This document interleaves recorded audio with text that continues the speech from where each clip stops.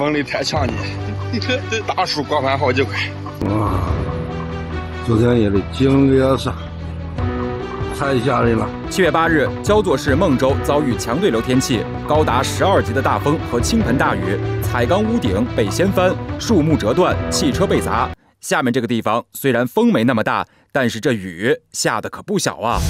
这大雨下的是可飘道啊，成百瓦子城难搞，凤凰大道是水上漂啊！七月八日，信阳市固始县出现短时强降雨，部分地区降水甚至超过四百二十毫米，造成严重的城市内涝，有群众被困。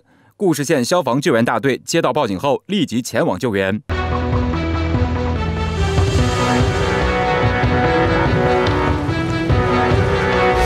接到这个群众求助，有这个一棵树，呃，被刮倒了，就是刮倒以后压到车上了，有人员被困，我们到现场进行处置。这棵大树可真不小，可见当时的风力有多大。消防队员赶到现场后，发现车内还有一位挺着大肚子的孕妇。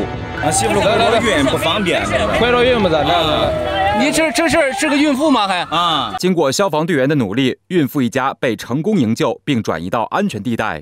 同样是大风天气，巩义市的一栋大楼外墙上的瓷砖都被刮掉了，楼下的车辆可遭殃了，整电线都拉上，恐怖恐怖恐怖！以后上班是不是还能戴个安全帽啊？提醒大家，最近天气多变，要及时关注天气预报，做好预防措施，避免发生危险。大嫂，你的编辑报道。